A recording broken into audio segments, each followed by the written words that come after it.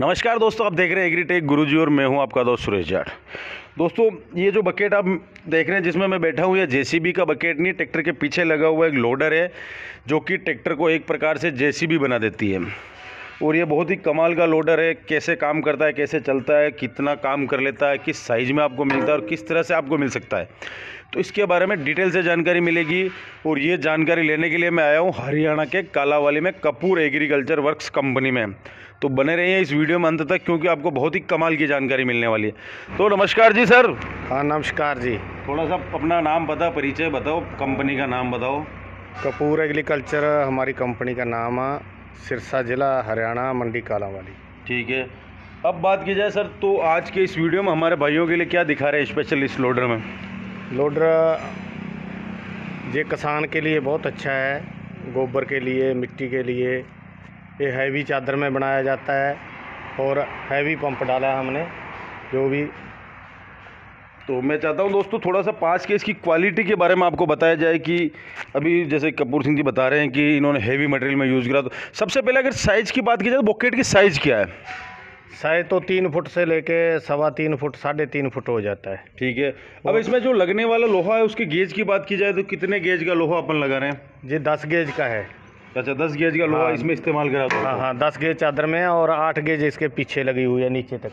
ये जो हाँ ये गड्ढे को सपोर्ट देगी हाँ, उसका हाँ, इसका डबल किया हुआ है। ठीक है। जे दस गेज है जे आठ गेज है। और ऊपर इसके जो पिन बुश लगाते हैं ये भी हार्ड लगाते हैं और ऊपर पत्ती लगा के फिर इसको वेल्डिंग करते हैं। और डबल स्प्रिंग की है ये लट्ठा डबल स्प्रिंग का क्या फ़ायदा? है इसका बॉक्ट बड़ा छोटा होता है मतलब ये आराम से लॉक लग जाता है अच्छा जब ये ये हाँ, लॉक ऑटोमेटिक हाँ, वाला हाँ, जब लगेगा जब तो ट्राली में माल गिरता है गिरते ऑटोमेटिक है आपका सही जगह पे आ जाता है। ठीक है। अब जैसे पीछे की तरफ़ देख चले उससे पहले मैं ये पूछना चाहता हूँ जैसे ये क्यों लगाई गई? जैसे लोडर तो वैसे ही मिट्टी उठा के भर लेगा ये दार लगा के हाँ जे पक्का क्यों लगाई? पक्का ब्लेट लगाते हैं जी टाइट मिट्टी को काट ले। ठीक है। हाँ। अब दोस्तों जैसे कि बात की जाए तीन फुट के आसपास का ये बकेट है ये साइज़ आप देख सकते हैं। कितने हाँ ये सवा दो फुट ऊंचाई होती है ऐसी। सवा दो फुट से ज़्यादा ही होता है। सवा दो ढाई हाँ, फुट के हाँ, आसपास हाँ, का हाँ। बकेट आपको मिल जाएगा ना तीन बाई सवा दो फुट।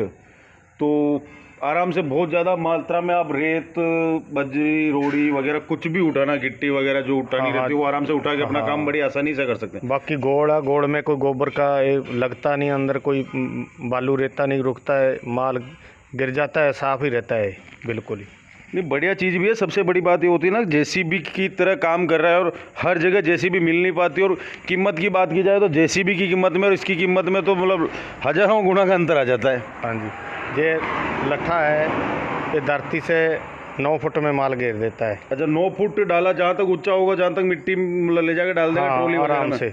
और दूसरी बात है इसके नीचे भी सपोर्ट लगाई हुई है। इतों तक आ जाती है सपोर्ट ये दो, दोस्तों ये देख हाँ। सकते हैं ये लट्टा अलग है यहाँ से एक सपोर्ट का पत्ता नीचे से जा रहा है जो आगे तक जा रहा है। ताकि जब वज़न आता है तब किसी प्रकार का बैंड नहीं आए हाँ। और दूसरी बात जे ये पत्ती लगाई है ये ट्राली के साथ नहीं लगती कोई मिस्त्री नहीं लगाता हम लगाते हैं। ठीक है। इसके लिए पंप कराट नहीं ख़राब होती। और जो पंप है इसमें जे बी सी का ही डालते हैं और पक्के पिन बुश डालते हैं इसमें। और ये मॉडल हिच वाला मॉडल आ जाता है जहाँ ट्राली जुड़ती है वहाँ लगता है। जो नलकी है एक नलकी का पंप होता है उसी डंपर वाली नलकी में लग जाता है। और लिफ्ट से जैसे ट्रैक्ट्रोली ऊपर नीचे करने की जो लिफ्ट लीवर काम आता है उसी से काम आराम से करेगा हाँ नए ट्रैक्टरों में तो आजकल कंपनी दे देती है डिस्ट्री उसी डिस्ट्रीब्यूटर से आराम से बढ़िया चलता है ऊपर नीचे से ही आता है। अभी आप देख रहे होंगे ये ट्रॉली खाली करने का लीवर आपको यहाँ पे दिख रहा है। लेकिन जब ये बकेट ऊपर होके जाएगा तो बिल्कुल यहाँ पे आ जाएगा आराम से ड्राइवर के हाथ में और ड्राइवर इसको पकड़ के जैसे ही खींचेगा बकेट ट्राली में खाली हो जाएगा। काफ़ी शानदार लोडर लेके आए हैं, पंप के साथ ऑपरेट हो रहा सबसे बढ़िया आसानी के साथ ये चलेगा। प्लस किसी प्रकार का लिफ्ट में भी लोड नहीं आ रहा सीरा हिच में लग रहा है। हाँ जी हिच में। तो मतलब वाइब्रेशन वगैरह मतलब हिलना डुलना बड़ा स्मूथ हो गया इसका। झूला कोई नहीं मारता है बढ़िया फ़र्स्ट क्लास फ़र्स्ट क्लास चलता है। लोडर यकीनन बहुत बढ़िया है। अब बात की जाए अगर इसकी कीमत की तो क्या कीमत के साथ इसको उपलब्ध करवा देते हैं किसान भाइयों के लिए? जो छोटा ट्रैक्टर है उसके लिए चालीस हज़ार का बन जाता है। जो इसका साइज़ बड़ा करना है या लट्ठा लंबा करना है या इसमें पंप हाई स्पीड का डालना है या मटेरियल और हैवी करना पैंतालीस हज़ार का हो जाता है। उससे फिर बड़ा बाउट और करना है तो पंजाह हज़ार का मॉडल बन जाता है। इसमें तीन मॉडल है। चालीस और पैंतालीस पैंतालीस 40, 45 और 50 हाँ। मतलब जिस हिसाब से किसान हाँ। भाइयों को रिक्वायरमेंट आएगी जितना हैवी बनाना उतना महँगा होता जाएगा। चालीस वाला सिंगल स्प्रिंग का कर देते हैं पैंतालीस वाला डबल का हो जाता है और जो पचास वाला उसमें हाई स्पीड का जैक डाल देते हैं उसका बाउट बड़ा कर देते हैं। जो बड़ा ट्रैक्टर होता है उसके लिए पंजाह वाला मॉडल है। ठीक चालीस हज़ार से नीचे नहीं है। ऊपर है जो ट्रांसपोर्ट का चार्ज है कहीं मंगा लो चाहे हरियाणा में मंगाओ चाहे पंजाब में मंगाओ चाहे यूपी में चाहे बिहार में चाहे उड़ीसा कर्नाटका में मंगाओ ट्रांसपोर्ट का चार्ज ग्राहक का ही होएगा। मतलब आपने जो अभी रेट बताई वो कालावाली में आपकी हाँ, शॉप की रेट है। फैक्ट्री का ही रेट है। जो ट्रांसपोर्ट का जो खर्चा है वो ग्रह का ही होएगा। मतलब जहाँ जितना भी जो लग जाए हाँ जो अगर नज़दीक में है तो कम लगेगा हाँ, दूर है तो ज़्यादा लग जाएगा। हाँ। ऑनलाइन बुक कराना है फ़ोन पे तो दस हज़ार एडवांस लेंगे बाकी का पैसा ट्रांसपोर्ट पे माल देख के उसके बाद खाते में लगा देना। मतलब कि आप ये कह रहे हैं कि दस हज़ार रुपये वो बुकिंग अमाउंट हाँ जी हाँ जी।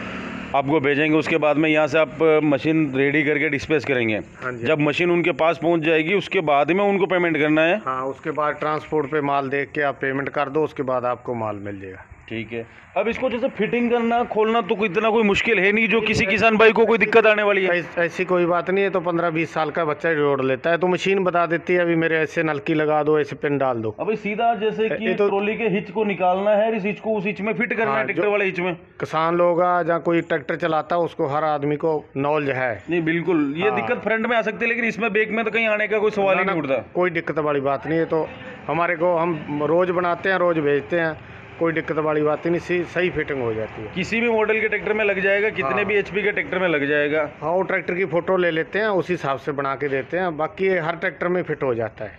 और बाकी ऐसी बात है कि बहुत से दोस्त कमेंट करके पूछते हैं कि कितना काम कर लेता है क्या करता है वो तो देखो आपकी स्पीड पे निर्भर करेगा कि आप चलाते चलाते कितने इसके एक्सपर्ट हो जाते हैं। हाँ जी जो आदमी ड्राइवर चलाता है सही चलाता दो चार मिनट में पाँच मिनट में ट्राली लोड हो जाती है। जो ट्रैक्टर की कोई लिफ्ट कमज़ोर होवे या और हो पाँच सात मिनट लगा देता है तो कई बार जगह भी तंग होती है तो वो काम करने की और हाँ। जगह और कंडीशन पे निर्भर तो करेगा वो ड्राइवर- टाइम लग जाना है? ड्राइवर ज- जे सही ड्राइवर है सही ट्रैक्टर है तो पाँच चार मिनट में ट्राली लोड हो जाती है। तो दोस्तों उम्मीद करता हूँ कि वीडियो आपको पसंद आया होगा। वीडियो आपको पसंद आया तो इस वीडियो को लाइक कर दीजिए अपने दोस्तों के साथ शेयर कर दीजिए वीडियो कैसा लगा और ये लोडर कैसा लगा इसके बारे में अपनी राय कमेंट करके मैं बता सकते हैं। इसको खरीदना तो अगर आप काला वाली आ सकते हो तो यहाँ आके खरीद के ले जाइए। नहीं तो ऑनलाइन का ऑप्शन है आपको घर बैठे होम डिलीवरी के साथ ये मशीन मिल ही रही है।